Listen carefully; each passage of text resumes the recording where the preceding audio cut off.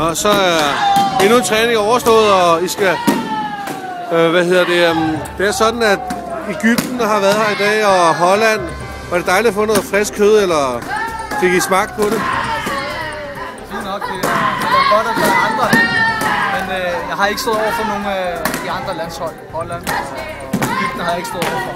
Jeg har hovedsageligt stået over for koreanerne.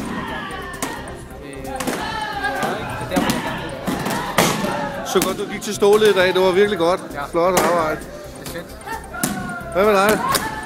Jeg, valgte, jeg valgte også at stå for koreanerne. Det passer ikke helt, fordi at du havde da også færdig en... Var det en... En australier. ja, Jeg var en australier. var han det? Ja, Nå, okay. så ja, der skulle lige... Der er nogle ting, lige skulle sættes på plads, skulle Ja. Men øh, det gik meget godt, tror jeg. Det var, men det, det var ikke det, jeg gad at bruge tid på. Men jeg, jeg, jeg, jeg nyder det virkelig meget at, at være sammen med for koreanerne, og så deres heavyweight. Han gør meget ud af at, at rette på mig og sådan nogle ting, så det var super. Selvom det er hårdt, det er høj intensitet, det er ikke hårdt, men det er sjovt. Jeg har det godt. Jamen, Det øhm, lover godt op til super. Skal vi gå og noget frokost? Der er træning i morgen tidlig.